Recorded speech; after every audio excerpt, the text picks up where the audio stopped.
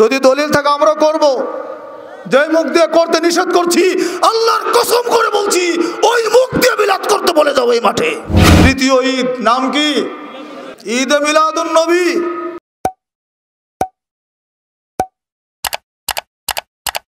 ইন্না কুল্লা মা লাম ইয়াকুন আলা আহদি রাসূলিল্লাহ সাল্লাল্লাহু আলাইহি ওয়াসাল্লাম। নিশ্চয়ই যেটা জামানায় ও আসহাবিহি এবং তার সাহাবিদের জামানায় দিন আর দিন ছিল না, ধর্ম ছিল না। লাম ইয়াকুনিল ইয়াউমা দিনা, এটা আজকের দিনও দিন হিসাবে গণ্য হবে না।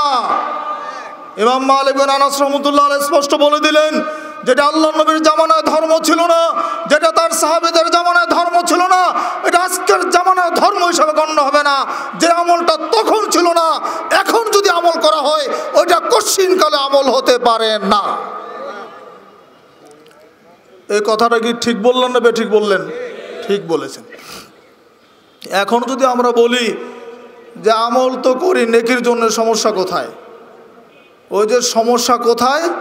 সমস্যা কোথায়? এটাই হচ্ছে মূল সমস্যা। সমস্যাটা কোথায়? এটাই হচ্ছে আসল সমস্যা। ওই যে সমস্যা সহি মুসলিমের হাদিস। তুমি যদি তুমি যদি মুসলমান হও, হাদিস তো মানবা, তাই না? সহি মুসলিম আল্লাহ নবী বললেন, যদি কেউ এমন কোনো আমল করে যেটা আমার শরীয়তে আমি নির্দেশ দেই না, এটা বাতিল।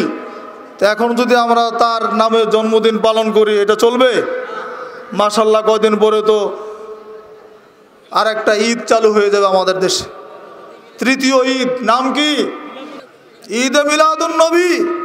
নবীর জন্মদিন, জন্ম এবং মৃত্যুদিন। দিবস নিয়েও তো সমস্যা আছে। আল্লাহ নবী জন্মগ্রহণ করেছেন।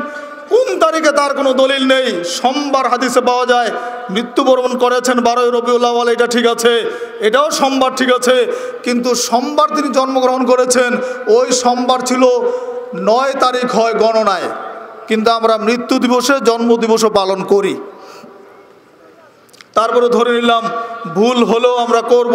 যদি আর প্রমাণ থাকতো, দলিল থাকতো, যদি রাসুল করিম সাল্লাহ আলাইসাল্লাম তার জীবনে একদিনও জন্মদিন পালন করতেন, তাহলে আমরা করতাম।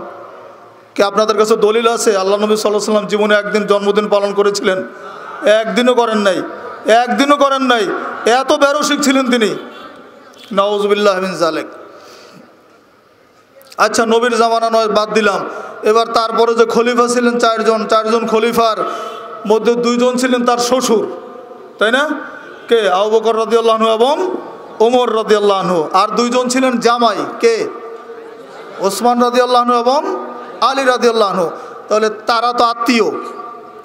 এবং কেমন আত্মীয়? কাছের না দূরের? নাকি দূর সম্পর্কের বেয়াই জামাই এরকম? নাকি পাড়া প্রতিবেশীর জামাই? নিজের আপন জামাই এবং আপন শ্বশুর এবং রাষ্ট্রীয় ক্ষমতার মালিক, রাষ্ট্রপ্রধান খলিফা, রাষ্ট্রযন্ত্র তাদের হাতে, এত কাছের ক্ষমতাধর ব্যক্তি সত্ত্বেও কেউ বলতে পারবেন যে চার খলিফার কোন খলিফা তাদের জীবনে একদিনের জন্য মিলাদুন নবী করেছেন? একদিনের জন্য মিলাদুন নবী করেছেন, কোনো দলিল আছে? যদি থাকে, মেহরবানি করে ভুল বুঝবেন না, দলিল দেখান, আমরাও করব, সমস্যা নাই তো। যদি দলিল থাকে, আমরাও করব। যে মুখ দিয়ে করতে নিষেধ করছি, আল্লাহর কসম করে বলছি, ওই মুখ দিয়ে বিলাত করতে বলে যাব এই মাঠে। যদি দলিল থাকে, শর্ত হচ্ছে দলিল। মুসলমানরা দলিলের অনুসরণ করে কিচ্ছা কাহিনীর অনুসরণ করে মুসলমান করতে রাজি নয়। যেহেতু তারা কোনোদিন করেন নাই আল্লাহ নবী জীবনে করেন নাই, সাহাবিরা কেউ করেন নাই, তাবিরা করেন নাই, তাবা তাবিরা করেন নাই। চার ইমামের জগৎ বিখ্যাত চারজন ইমাম ইমাম আবু হানিফা রহমতুল্লাহ আলাই ইমাম মালিক রহমতুল্লাহ আলাই শাফি রহমতুল্লাহ আলাই ইমাম আহমদ বিন হাম্বল রহমতুল্লাহ আলাই জগৎ বিখ্যাত চারজন ইমাম। চারজন ইমামের জীবনীতে তারাও কোনোদিন মিলাতুন নবী করেন নাই।